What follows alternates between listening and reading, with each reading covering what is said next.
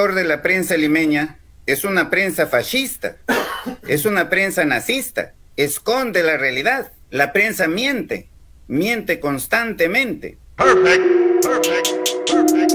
Beto Ortiz se pronunció sobre las últimas declaraciones del premier Aníbal Torres en su programa en vivo y en directo Beto a saber pues el titular del gabinete ministerial señaló que es necesario tomar medidas ante los ataques de la prensa, sobre quienes dijo que nunca van a hablar bien del gobierno de Pedro Castillo.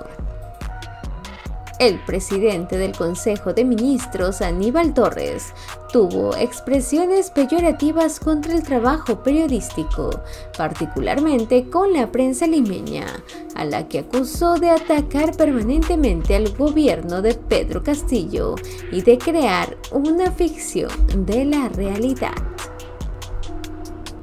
En esta misma línea, Aníbal Torres acusó a la prensa de ser nazista y fascista a la vez.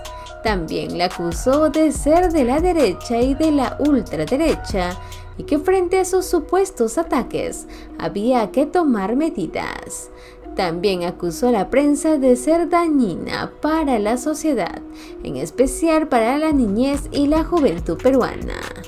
Veamos qué fue lo que dijo Aníbal Torres, que desató la ira de Beto Ortiz. De nazi. El gran adorador de Hitler ahora nos acusa a nosotros de nazis. Fantástico, vamos a escucharlo.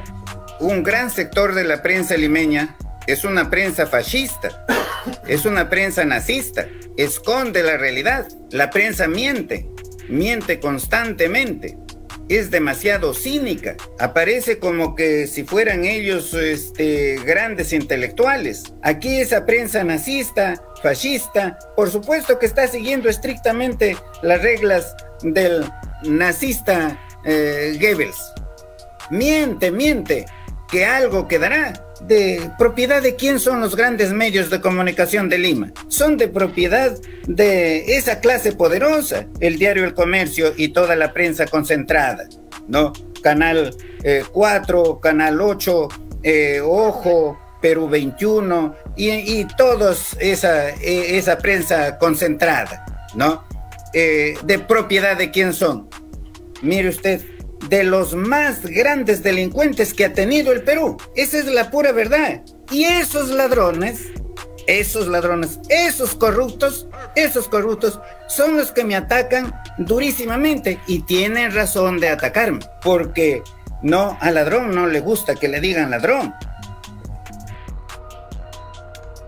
Y bien, ¿qué piensas al respecto? Escríbeme aquí abajo en los comentarios y no te olvides de suscribirte a mi canal.